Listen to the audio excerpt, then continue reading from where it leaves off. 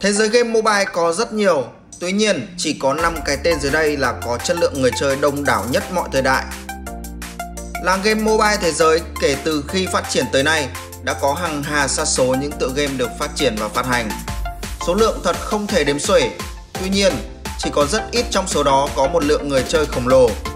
Mà năm cái tên dưới đây vinh dự có được lượng người chơi đông đảo nhất mọi thời đại, tính đến tháng 4 năm 2020. Đứng ở vị trí thứ năm là Candy Crush Saga. Không phải tất cả game thủ trên thế giới đều biết Candy Crush Saga nổi tiếng sao? Phần lớn game thủ đều đã từng là nạn nhân của những cơn nghiện trò chơi tưởng chừng như đơn giản nhưng lại cực kỳ lôi cuốn này.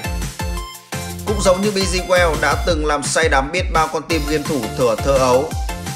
Thì kể từ khi có Candy Crush Saga, tựa game này như thay thế huyền thoại kim cương của PopCap ngày nào. Candy Crush đã có hơn 500 triệu người chơi trên toàn cầu, đưa nó lên vị trí thứ 5 trong danh sách này. Ở vị trí thứ tư, PUBG Mobile. PUBG Mobile là phiên bản được thiết kế dành riêng cho thiết bị di động. PUBG Mobile là tựa game có sức lan truyền nhanh hơn bất kỳ trò chơi nào khác và có lượng game thủ trung thành ở khắp nơi trên thế giới, chơi trong vòng một năm sau khi ra mắt. Khi được phát hành, PUBG Mobile chỉ mang đến cho người chơi sinh tồn một bản đồ kinh điển nhất, Erangel. Cùng với thời gian, Tencent đã bổ sung nhiều loại vũ khí mới, giới thiệu các chế độ trò chơi mới như chế độ Arcade với thời lượng mỗi trận đấu ngắn hơn so với 30 phút ban đầu. Không thể không kể đến những bản đồ mới như Sunhawk, Vikendi hay Mirama. Trò chơi cũng có sẵn chế độ góc nhìn thứ nhất và thứ ba. Vị trí thứ ba thuộc về Median Rush Despicable Me. Minion là một trong những sinh vật đáng yêu bậc nhất từng xuất hiện trên phim ảnh và game mobile. Game thủ có thể lựa chọn một trong bốn nhân vật Dave, Ka, Jerry và Mel. Minion Rush Despicable Me cung cấp nhiều trang phục được thiết kế ngộ nghĩnh và lạ mắt dành cho người chơi. Minion Rush có hơn 900 triệu người chơi trên toàn cầu, khi nó trở thành một trong những tựa game được yêu thích nhất mọi thời đại. Vị trí thứ hai thuộc về Subway Surfers.